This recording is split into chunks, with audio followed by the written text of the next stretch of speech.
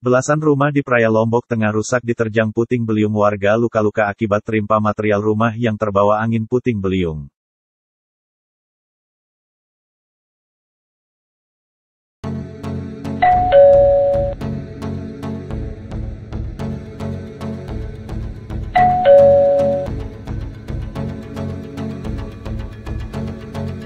NTB detail berita belasan rumah di Praya Lombok Tengah rusak diterjang puting beliung Minggu, tanggal 19 Desember 2021 sampai pukul 11.30 WIB Lombok Tengah, belasan rumah warga di Praya Lombok Tengah rusak diterjang puting beliung.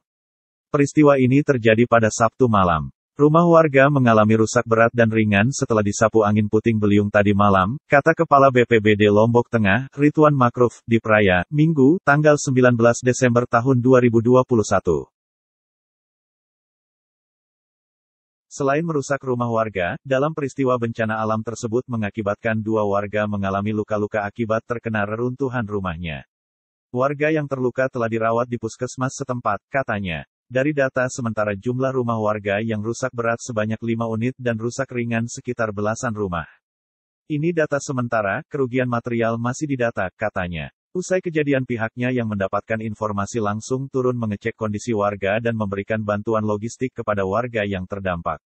Sedangkan untuk kebutuhan lainnya masih menunggu hasil pendataan yang telah dilakukan. Untuk sementara warga masih mengungsi di rumah keluarganya, karena kondisi rumah mereka masih rusak, katanya.